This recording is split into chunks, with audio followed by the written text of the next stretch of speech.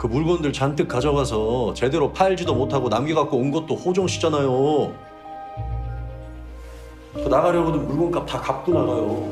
일단 배운 대로 충실히 규칙대로 열심히 사비를 털고 대출을 받고 스스로의 능력 부족을 탓하면서 열심히 발버둥을 치다 보면 결국 잔고는 바닥나고 지인들의 신뢰를 잃고 제가 사정이 좀 안 좋아져서 잠시 일을 쉬려고 하는데요.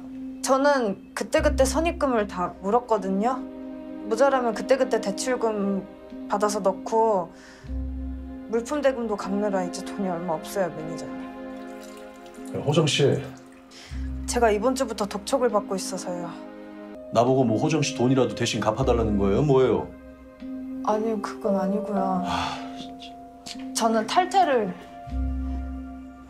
회원 탈퇴를 그 선입금 누가 받아 쓴 거예요? 호정 씨가 땡겨 쓴 거잖아요.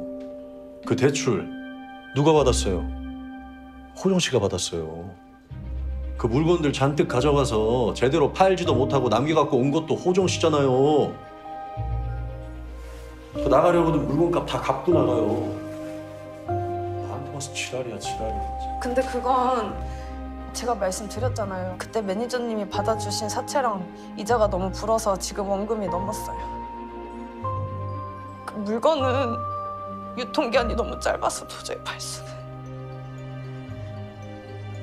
제발 도와주세요, 매니저님.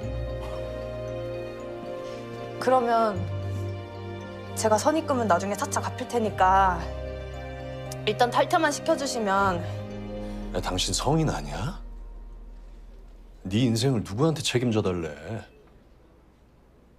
아, 진짜 짜증나게 진짜. 씨.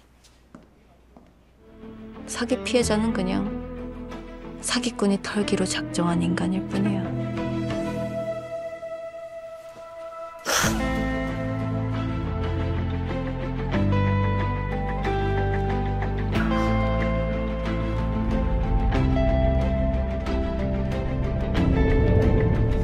우정아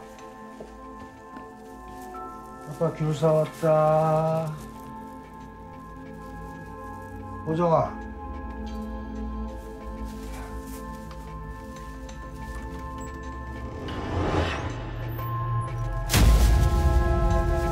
우정아! 우정아